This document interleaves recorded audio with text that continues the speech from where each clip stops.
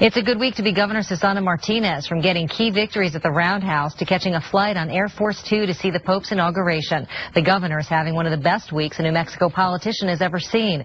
KOAT political analyst Brian Sanderoff breaks it down with Action 7 News anchor Tanya Mendez. The governor's had a great week. Brian Sanderoff has been studying politicians in New Mexico for a long time. But what Governor Susana Martinez managed to accomplish last week, pretty impressive, even to him. The legislative session turned out to be successful.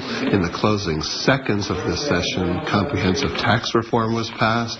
She signed some bills, got on a plane, off to Rome. I mean, not a bad week.